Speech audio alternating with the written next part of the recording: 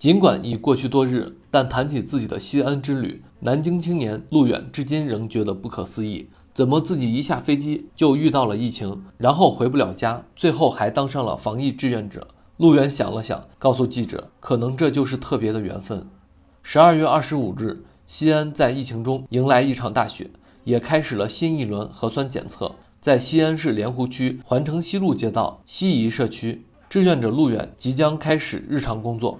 在几天前，他还是一名从南京来西安采风的摄影师。得知遇到疫情无法回家时，他也曾有些慌乱，但冷静的性格还是让他认清现实。只有疫情散去，自己才能早些回家。于是，陆远有了当防疫志愿者的念头。因为之前南京也爆发过疫情，然后看着他们的那些志愿者，就是说非常的非常的辛苦。然后呢，我也想呃受他们感染，我也想就是说参加一下这里的呃志愿者。然后呢，就搜出了这个附近街道办的电电话，然后致电给他们，留下了。呃，我的联系方式，然后呢，第二天他们就给我打电话让我报到。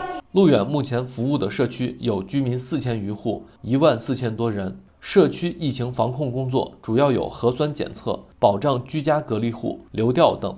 虽然是外地来的志愿者，但陆远并未觉得自己特殊，跟其他防疫人员一样，每天工作强度很大。啊，陆远呢是咱们，呃，是我们现在的一名志愿者。他是在从南京，本来是从南京十八号到西安过来西安旅游的。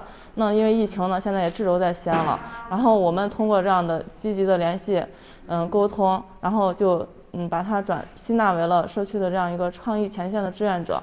那么在近最近几次核酸检测中，嗯，小伙也特别能干，哎，帮着我们搬送物资、数据核验，反正从早上基本上从早上。我们什么时候开始，他什么时候开始，晚上也就是跟大家一起结束，一直到收尾，特别的能干。